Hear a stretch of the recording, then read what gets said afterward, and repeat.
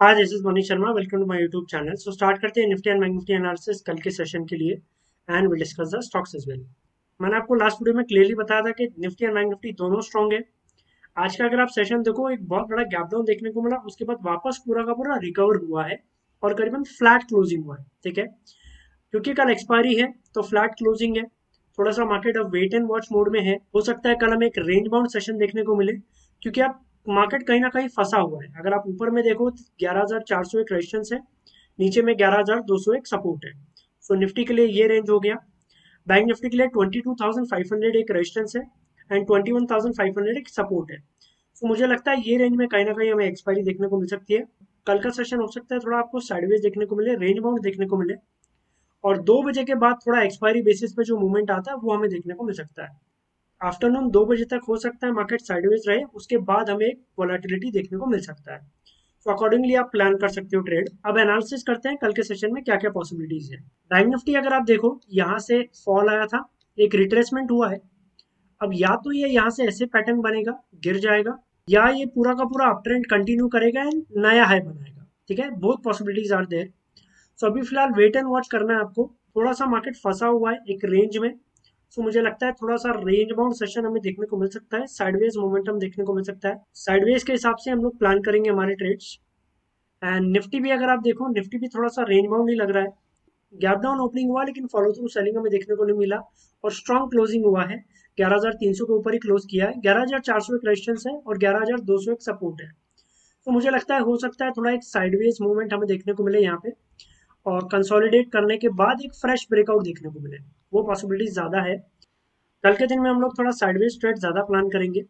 अब डिस्कस करते हैं स्टॉक्स मैंने आपको लास्ट वीडियो में डाबर दिया था सेल इसमें डेफिनेटली आप लोगों ने काफ़ी अच्छा पैसा बनाया होगा क्योंकि मैंने इसको सेल दिया था 510 के नीचे और ये 500 तक लो बनाया है। सो इसमें आपको इसमें आपको काफ़ी अच्छा पैसा आया होगा। बंधन बैंक एंड पेट्रोनेट जो ट्रेड दिया था, वो ट्रेड ट्रिगर नहीं हुआ है।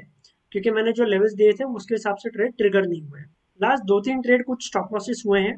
सो मैं आपको ये एडवाइस करूँगा कि आप थोड़ा कम क्वांटिटी में ट्रेड करो और प्रॉफिट बुक थोड़ा फास्ट करो, ठीक है? क्योंकि थोड़ा सा साइडवेज मार्केट है रेंज बाउंड मार्केट है। हो सकता है आपको पूरा का पूरा टारगेट ना मिले। अगर आपको छोटा प्रॉफिट भी मिल रहा है तो आप एग्जिट कर लो क्योंकि रेंज बाउंड मार्केट है तो स्टॉक ज़्यादा मूवमेंट नहीं करेंगे। मार्केट एक रेंज में फंसा हुआ है। सो so, इसलिए मैं आपको ये एडवाइस करूँगा, कम क्वांटिटी में ट्रेड करो एंड प्रॉफिट बुकिंग थोड़ा फास्ट करो। एंड आई होप आप भी समझते हो कि मैं आपको लाइव ट्रेड दे रहा हूँ।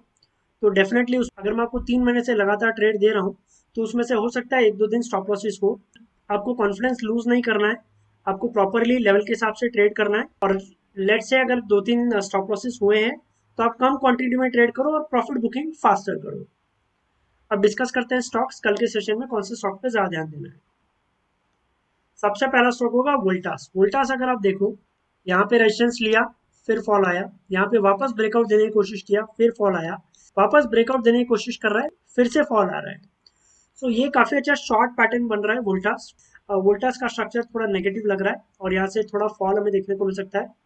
सो so, इंटरडे के हिसाब से काफ़ी अच्छा शॉर्ट रहेगा। कौन से लेवल पे शॉर्ट करना है मैं आपको टेलीग्राम चैनल में बता दूँगा। नेक्स्ट स्टॉक होगा एल एन एल भी स्ट्रक्चर अगर आप देखो इसने ब्रेकआउट देने की कोशिश की ये बड़े ग्रीन कैंडल के बाद। लेकिन ऊपर के लेवल से वापस सेलर्स आ गए, क्योंकि यहाँ पर रेजिस्टेंस है, आप देख सकते हो। एंड मुझे लगता है इसमें भी एक फॉल हमें देखने को मिल सकता है एल में। तो कौन से लेवल पे शॉर्ट करना मैं आपको टेलीग्राम चैनल में बता दूँगा, लेकिन इसका भी स्ट्रक्चर काफ़ी अच्छा लग रहा है शॉर्ट के लिए। एंड लास्ट स्टॉक होगा बजो पेंट बजो पेंट मुझे स्ट्रक्चर काफ़ी अच्छा लग रहा है बाइंग के लिए, क्योंकि अगर आप देखो, ये लेवल एक सपोर्ट का काम करेगा। और एग्जैक्टली प्राइजेस ने यहाँ पर सपोर्ट लिया है और उसके बाद ऊपर जाने की कोशिश कर रहा है। तो मुझे लगता है यहाँ से एक इंट्राडे में सात आठ रुपए का आपको हमें देखने को मिल सकता है। सो बजो पेंट काफ़ी अच्छा बाय रहेगा। कौन से लेवल पे बाय करना, मैं आपको टेलीग्राम चैनल में बता दूँगा। अगर आपको वीडियो और एनालिसिस अच्छा लगा तो वीडियो को लाइक एंड शेयर ज़रूर करना। Thanks lot for watching the video see in the next video